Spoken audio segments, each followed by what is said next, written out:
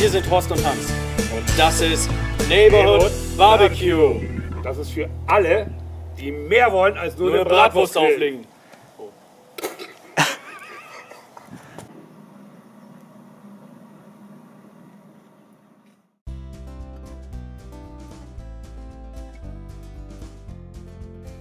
Ja, herzlich willkommen zur nächsten Folge von Neighborhood Barbecue.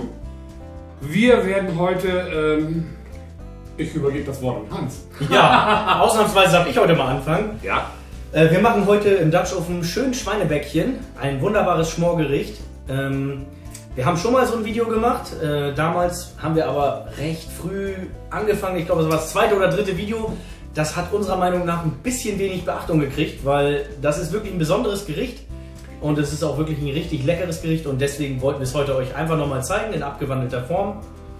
Und, Horst, was haben wir da alles für? Ja, ein Wort wollte ich noch mal sagen. Dieses Gericht eignet sich tatsächlich auch zu den schönen Festtagen, die wir haben. Und dafür haben wir hier die berühmten äh, Hauptdarsteller, die Schweinebäckchen. Ganz normales Suppengemüse. Und den Rest stellt Hans vor, weil ich kann das alles nicht sehen. Ja, wir haben natürlich noch Salz und Pfeffer, ein bisschen Zucker, Kräuter der Provence, Tomatenmark, wir haben ein bisschen Rinderfond, Öl zum Anbraten und ein Dunkelbier. Ihr solltet ruhig ein Schwarzbier nehmen, das kommt immer besser, sonst wird es bitter. Ich hoffe, Hans denkt daran, der erste Schluck ist immer für den Koch. Genau.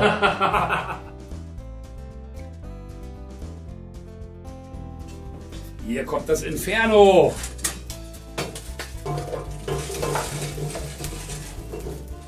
Hans, der Rest ist deine Aufgabe.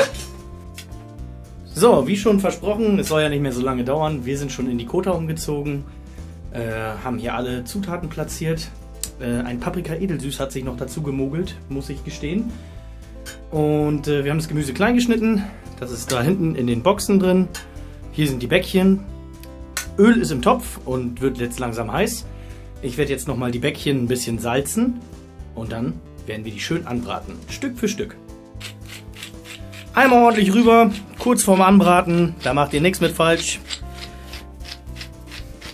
Und jetzt starten wir und braten die Bäckchen eben einmal kurz bei voller Hitze. Schön braun. So, die Bäckchen sind angeschmort. So sehen sie jetzt aus.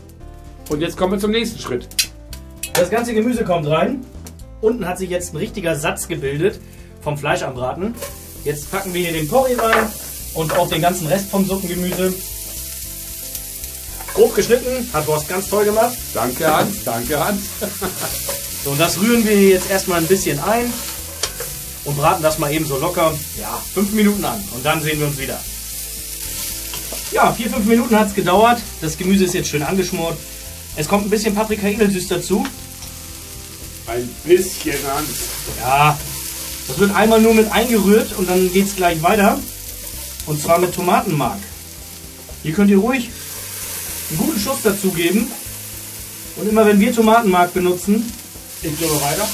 ich bitte darum, Horst, Danke. dann schießen wir auch immer einen Schuss Zucker dazu. Das bratet ihr jetzt äh, schön erstmal eine Minute mit an. Und wenn das dann eine richtig schöne dunkelrote und orange Farbe bekommen hat, dann seid ihr genau richtig und dann wird abgelöscht. Bis gleich. Ja, eine Minute ist vorbei. Und jetzt wird Hans ablöschen. Ich rühre dabei weiter. Das machen wir mit unserem Dunkelbier. Einfach nur kurz einen Schuss rein. Genauso wie jetzt sollte es schön zischen. Da lösen sich unten am äh, Dutch-Ofenboden schön die Röstaromen. Und äh, ihr könnt diesen Schritt bestimmt, ja, je öfter ihr den wiederholt, desto mehr Bums kriegt nachher eure Soße. Wir werden das jetzt zwei, dreimal machen und dann sehen wir uns gleich wieder. Zwei, dreimal haben wir es jetzt gemacht. Ähm, jetzt gießen wir locker das halbe Bier mit rein. Dann verschwindet auch ein bisschen der Dampf.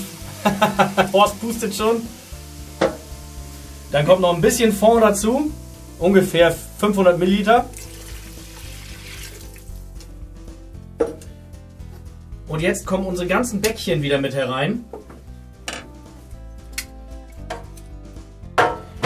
Die Bäckchen sind jetzt drin. Sie sollten ungefähr so, wie es jetzt hier zu sehen ist. Sie sollten nicht komplett unter Wasser getaucht sein, aber sie sollten schon schwimmen. Äh, Ein bisschen gießen wir noch nach. Dann nehmen wir hier noch mal ein bisschen was von unserem Schwarzbier. Sehr schön. Und jetzt kommen noch ein paar Kräuter der Provence dazu. Passt unheimlich gut zu den Schweinebäckchen. Das wird alles nochmal mit untergerührt. Und dann geht gleich der Deckel drauf und wir werden den Dutch Oven so belegen, dass wir so um die 150 bis äh, 160 Grad haben. Und dann bleibt der Deckel ja, erstmal für zwei Stunden geschlossen. So sieht unser Dutch Oven jetzt aus. Wir haben ihn fertig belegt. Äh, hier sind 15 Kohlen auf dem Deckel, 7 sind unten drunter. Wenn 16 auf dem Deckel landen, ist es auch in Ordnung. Ihr seid dann ungefähr in einem 12er Tief. Das ist ein Camchef. Äh, der ist gleichzusetzen mit dem Petromax äh, FT9. Äh, dann seid ihr ungefähr bei 150, 160 Grad im Inneren des Dutch Ofens. Dafür gibt es auch Belegungstabellen, könnt ihr auch mal eben äh, im Handy gucken oder was. Aber wir haben jetzt hier 7 unten drunter, 15 auf dem Deckel. Und die sollten für die nächsten zwei Stunden erstmal reichen. Und dann hoffen wir, dass die Bäckchen ultra zart sind und freuen uns auch schon gleich aufs Verkosten. Zwei Stunden sind rum. Wir schauen jetzt mal rein. Horst ist so frei und nimmt den Deckel ab. Er gibt sich ganz viel Mühe mit dem Deckelheber. Und wir hoffen, dass die Kohle schön auf dem Deckel bleibt und nicht. Nein, das bleibt schon. Fertig? Ja. Okay. Oh, Alter. Oh, das sieht gut aus. Das sieht sehr, sehr gut aus. Äh, ich hoffe, ihr seht ein bisschen mehr als Dampf. Wir werden uns jetzt der Kohle entledigen und dann sehen wir uns drinnen nochmal wieder und dort werden wir auch nochmal das Geheimnis lüften. So. Wie versprochen, jetzt wird drinnen nochmal ohne Kohle der Deckel gelüftet. Horst ist so frei. Das wollte ich sagen, Hans. So, oh, Alter. Jawohl. Perfekt. Ich bringe den Deckel rauf. Man sieht so gut wie gar nichts. Die Bäckchen sind alle versunken. Aber macht euch keine Sorgen. Wir fischen die ganzen Bäckchen jetzt da gleich raus, tun sie in eine kleine Konzessform. Dann kommt das in den Ofen bei 30 bis 50 Grad. Einfach, dass sie warm bleiben. Und äh, dann werden wir hier den ganzen Spaß, der übrig geblieben ist, nämlich das ganze Gemüse, was hier überall ist, das werden wir nochmal passieren. Dann wird das alles gesiebt. Dann wird es nochmal aufgekocht, was da drunter rausgekommen ist. Und dann sehen wir uns gleich wieder. Also, die Bäckchen haben wir jetzt aus dem Dutch Ofen rausgeholt. Jetzt kommt Horst mit seiner Küchenhexe und mixt nochmal alles an Gemüse volle Pulle durch. Ja, wie ihr seht, wir haben die Schweinebäckchen jetzt schön auf einem äh, Brett drapiert. Dahinter ist das Brot. Wir haben schon ein bisschen die Soße einreduziert und das mal eben drüber gegossen. Ich zeige es euch jetzt einfach mit meinen Händen, einfach nur spaßeshalber, wie zart diese Dinger sind. Man nimmt die in die Hand und die die fallen so, die fallen so auseinander. Das ist so ein unfassbar butterzartes Fleisch. Wir machen es mal einfach mit einer Gabel, dass wir einfach nur sagen, hier. Seht ihr das? Hier ist keine Kraft, das ist fast wie ein Pulled Pork. Das fällt so auseinander und wenn ihr dann natürlich noch so eine schöne Schmorsoße habt, da geht einfach nichts mehr drüber. Und deswegen so wie es hier jetzt liegt, werden wir den ganzen Spaß verkosten. Und glaubt uns, da freuen wir uns schon den ganzen Abend drauf. Das wird der Hit.